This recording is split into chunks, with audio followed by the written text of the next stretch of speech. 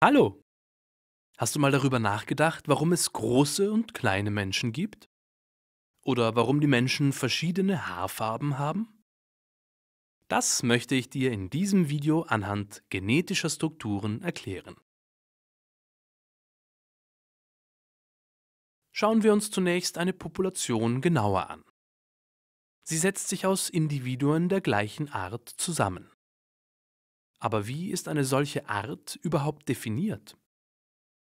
Eine Art fasst alle Lebewesen zusammen, die in den wesentlichen Merkmalen übereinstimmen und fruchtbare Nachkommen bekommen können.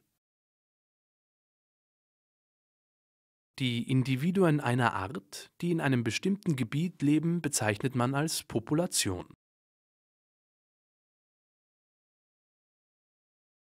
Wir wollen uns jetzt einmal auf die Ebene der Gene begeben.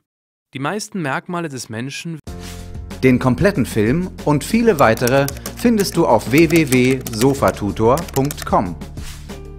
Über 7000 Lernvideos erklären dir, was du für gute Noten wissen musst. Tests überprüfen dein Wissen nach jedem Video. Echte Lehrer helfen dir im täglichen Live-Chat sofort bei deinem Problem.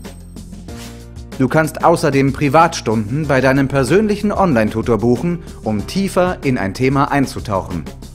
So helfen wir dir, deine Zensuren ohne großen Aufwand zu verbessern. Probiere es am besten sofort aus.